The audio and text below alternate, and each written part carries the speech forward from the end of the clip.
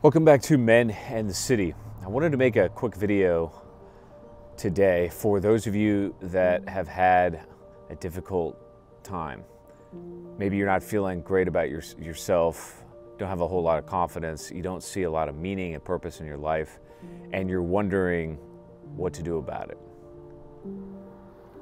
So I'm going to read an excerpt of a recent essay that I wrote called Western Man's Dark Night of the Soul Before Dawn. And then we're going to talk about it.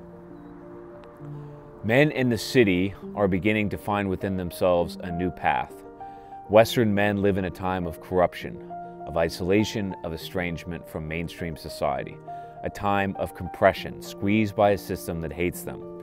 Since the 60s, the tidal wave of feminism, the great replacement, bureaucratic emasculation, financialization, and the sexual frustration of a toxic dating marketplace has left Western men and society battered and broken. Social breakdown begins incrementally, almost imperceptibly as droplets before the downpour. Eventually, small cuts become deep lacerations that bury the self under layers of psychological scar tissue until what you have become is wholly unrecognizable from what you were. Masses of men find themselves living through a dark night of the soul crawling through glass in the emptiness of the abyss. Desperate to change their situ- situation, to revive the boyish enthusiasm and optimistic vigor that once fired their libidos, men are hoping against hope for salvation. As prayers go unanswered and pleas for a release fall on apathetic ears, a masco derangement detonates and men lash out.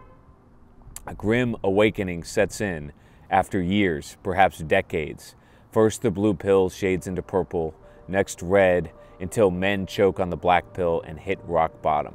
Men give up because it's over, nothing can be done, and all is lost. It is at this point when men are reborn.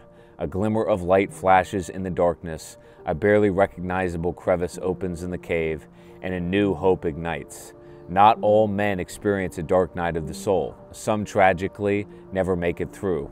Only the worthy emerge from the blackness. This is what Dostoevsky meant when he said, There is only one thing that I dread, not to be worthy of my sufferings. Our suffering is not ours alone. It is a collective suffering we must endure for the sake of Western civilization's kith and kin. There is hope on the horizon, a flicker in a tunnel dimly lit by the fireworks of revolt. A clash between good and evil is enveloping the globe, and the forces of good desperately need you.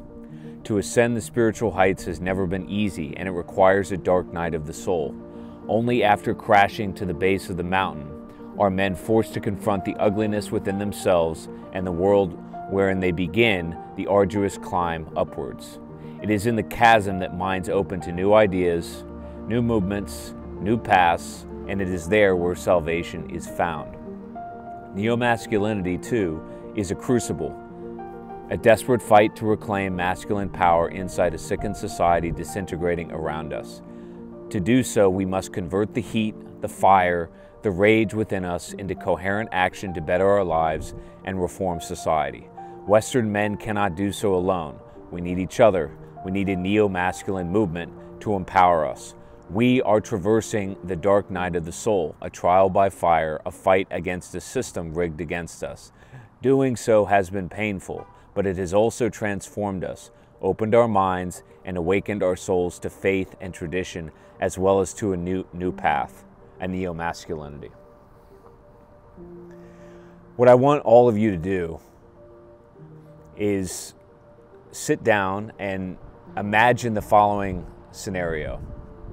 I want you to picture yourself sitting in a fancy restaurant next to a beautiful woman. You're healthy, you're fit, you're tall, you're good looking, you know, whatever it is that you want to be, you are those things.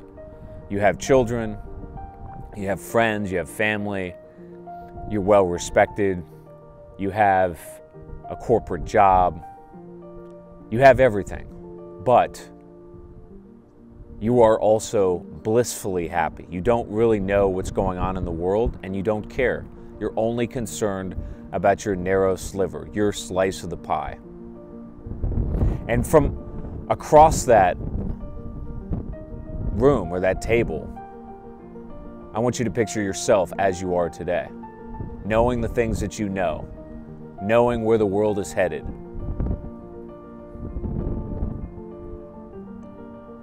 Would you trade places with that idealized man across from you who has all of the things that society says that you need? My guess, gentlemen, is that you would not trade places. You would stay exactly where you are. You would stay where you are because you know deep down that a fight is coming between good and evil. And you are needed. You are needed. Stay tuned for more, and we'll talk soon.